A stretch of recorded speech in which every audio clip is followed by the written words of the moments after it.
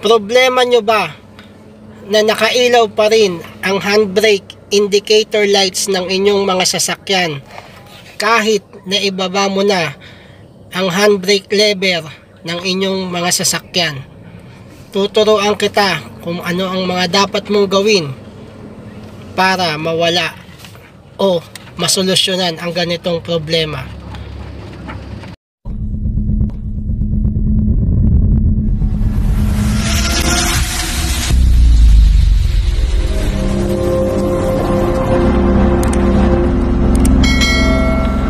So mga paps, normal yon di ba? Na pag nakataas yung handbrake mo o yung handbrake lever mo, pag nakataas yon normal na nakailaw yung indicator lights mo ng handbrake. Pero ang hindi normal mga paps na pag ibinaba mo na yon at aandar ka na, aandar na yung sasakyan mo, papatakboy mo na yung sasakyan mo at binaba mo na yung handbrake lever na para makaandar ng maayos yung sasakyan mo at walang pumipigil, hindi normal na may ilaw pa rin yon. Ngayon, kung paano ayusin yon at kung paano masolusyonan yon, eto mga paps, ituturo ko sa inyo. Pero bago pala yan, ah, kung bago ka lang sa channel ko, ah, please, ah, mag-subscribe ka na, tapos mag-like and share ka din, tapos ah, pindutin mo rin yung notification bell mga paps para lahat ng video ko na i-upload maging updated ka. Okay? O tara, proceed na tayo mga paps. Ah. So mga paps, eto na. Nasa Toyota Vios ulit tayo. Toyota Vios 2017. Ah. Yan, nakailaw yung ah, indicator lights niya ng handbrake. Yang may bilog na may exclamation point. Normal yan na nakailaw. Kasi 'di ba? Etong handbrake lever natin ay nakataas. Yan, ito. Ito. 'Di ba nakataas siya? Bakit ba ginagamit ang handbrake muna pala? Ginagamit 'yan mga paps pagka ano ka yung 'di ba, papark ka na para pag medyo pataas, ah, itataas mo yung handbrake lever para mag magkaroon ng ano, hindi hindi bumaba, hindi umatras yung sasakyan mo. O pag pababa naman, hindi umabante yung sasakyan mo. Kasi siya yung pumipigil para hindi mag ano, hindi umatras o hindi umabante yung sasakyan mo kung meron man pababa o meron man pataas. Kumbaga, preno yan sa likod yung meron yung brake shoe na pagka itinaas mo to, kakapit yun dun sa ano sa gulong para magpreno siya. Ngayon, pag nakababa siya, natural, ah, bibitaw yon yung kapit ng brake shoe na yon kaya maaliwalas ka na na mai ma, maipapaandar yung sasakyan mo. Wala nang pumipigil sa gulong mo na para mag-brake so yun yon mga paps. Kaya pagka in- inangat mo to normal iilaw yan. Yung indicator na yan indicator light. Ngayon pag binaba mo yan natatakbo ka na napansin mo may ilaw pa rin yan. So hindi normal yon mga paps. Ngayon kung paano ayusin yan dito tayo sa labas ituturo ko yun nandito na tayo mga paps sa labas ng ah, sasakyan. Ah, inangat ko na yung hood. Tapos syempre pag ganun yung senaryo na ah, nakababa na yung ah, handbrake lever natin tapos ah, dapat yun di ba naka, wala ng indicator lights. Pero meron pa rin yung indicator lights. Eto mga paps una nating i-check yung ah, fluid level natin yung brake fluid level natin. Andito yan mga paps. Ah, ito yung tangke ng ano ng brake fluid. Ah, dito tayo nagre-refill sa ganitong sasakyan Vios sa ganitong model nandito siya sa ah, ano bang tawag dito? Ah, likod ng battery madali lang makita yan.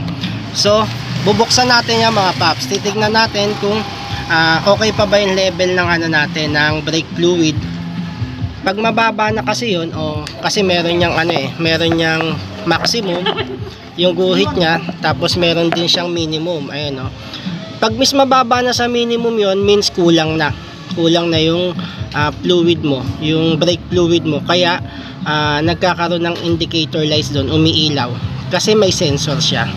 Ito ito yung nagbabato o nagsasabi ah, brake fluid ah, nagsasabi sa brake system na kulang na yung ano mo, kulang na yung brake fluid mo kaya nag, nagbibigay siya ng signal o naglalabas siya ng indicator lights, 'di ba? Pero kung ano, kung ang sitwasyon naman ay 'di ba nga ah, nandun ka sa loob, ibinaba mo na yung brake hand ano lever, dapat yun wala na yung ano noon indicator lights pero meron pa rin. Tapos pag pagpunta mo dito sa labas, nakita mo okay naman yung fluid level niya, hindi naman siya hindi naman siya kulang. Nasa ano nasa right level naman siya, 'di ba? Tapos sasabi mo bakit meron pa ring ano, bakit meron pa ring indicator lights na nakailaw eh okay naman yung level ng ano niya, ng brake fluid niya. Ganito yan mga paps. Ang gagawin mo, tatanggalin mo to, 'di ba? Ito yung sensor niya, yung oil sensor niya, ah, brake fluid sensor niya dito. Gagawin mo, tatanggalin mo 'yan. Pagtanggal mo niyan, ah pagtanggal mo nitong connector na to, dapat 'yon mawawala yung ilaw. 'Di ba? So pagtanggal mo to, dapat mawawala yung indicator lights kasi pag na, pag nawala 'yon, ibig sabihin nun ano siya, ah, sira yung sensor mo kasi nagbibigay siya ng maling signal. Kasi nasa tamang level naman yung ano mo, yung brake fluid mo. Tapos nasa nakababa na rin yung handbrake level mo.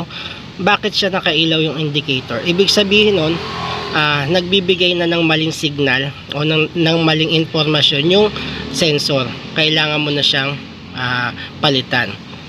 So ngayon, yun yung yun yung diagnose para malaman mo na sensor yung problema.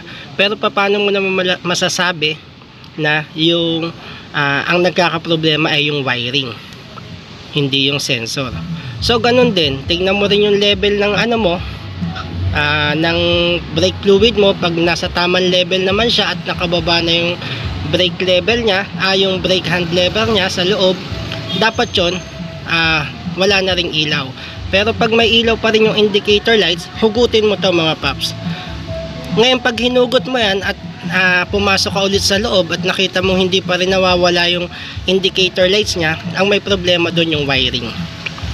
Ganun lang kadali mga paps. Ah, pero yung sinasabi ko na ano, sinasabi ko nga pala na idadagdag ko lang pero hindi naman to ano ah, hindi naman to hindi naman to yung re- related dun sa usapan natin. Gusto ko lang idagdag na information sa inyo ah, mga paps na pag nakita mo na mababa na yung ano mo, mababa na yung brake fluid level mo, na kulang na yung brake fluid mo, indication nyo mga paps na may tagas yung brake system mo.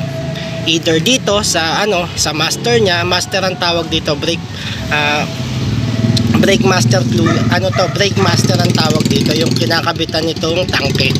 Ibig sabihin na may tagas na. Check mo yan yung brake system mo dun sa mga gulong, sa mga brakes nun. Kung hindi mo masyadong kabisado kung paano i-check, ipa-check mo dun sa ano, sa mga trusted na mechanic mo na gumagawa ng sasakyan mo.